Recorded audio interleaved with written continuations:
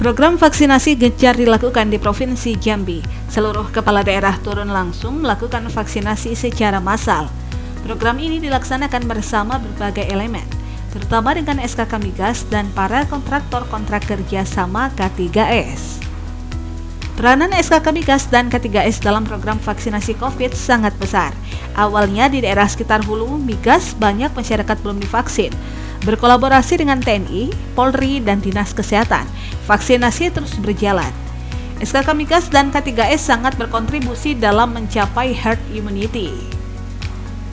Petro Cina International Jabung mengadakan berbagai kegiatan vaksinasi massal bagi pekerja maupun masyarakat sekitar wilayah kerjanya.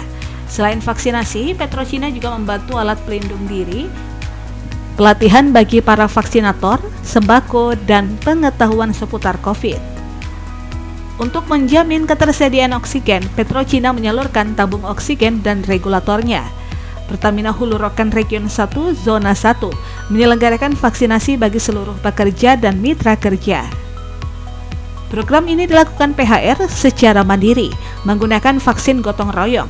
Selain itu juga digunakan vaksin program pemerintah.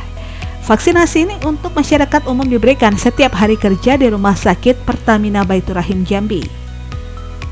Untuk mempercepat program vaksinasi, Jindi South Jambi BCO Limited melakukan vaksinasi bagi karyawan dan masyarakat. Di samping itu juga ada bantuan kepada Satgas COVID-19 Kabupaten dan Kota berupa transportasi untuk program umum dan khusus.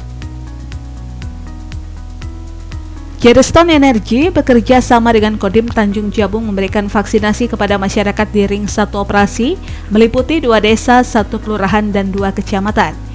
Jadiston Energy menggelar vaksinasi di Desa Bram Itam Raya, Desa Bunga Tanjung, Kelurahan Mekarjaya, dan Kecamatan Betara. Repsol Sakemang BV juga menyelenggarakan kegiatan vaksinasi. Lokasinya di Desa Kaliberau dan Tampang Baru, Kecamatan Bayung Lincir, Kabupaten Musi Banyu Asin. Monde Or Oil Tungkal memastikan seluruh pekerjanya telah divaksin COVID-19. Mondeor tidak mengizinkan pekerja maupun tamu memasuki area pusat produksi jika tidak memiliki sertifikat vaksin COVID-19 dosis kedua. Untuk memajukan apa, uh, kegiatan uh, usaha lokal, tapi kita juga membantu dalam ke, uh, kegiatan kesehatan terkait uh, COVID-19, baik pencegahan maupun kita memfasilitasi kegiatan vaksinasi di di daerah operasional Hulu Migas.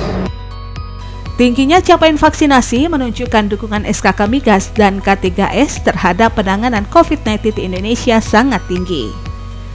Tim Liputan, Cek TV melaporkan.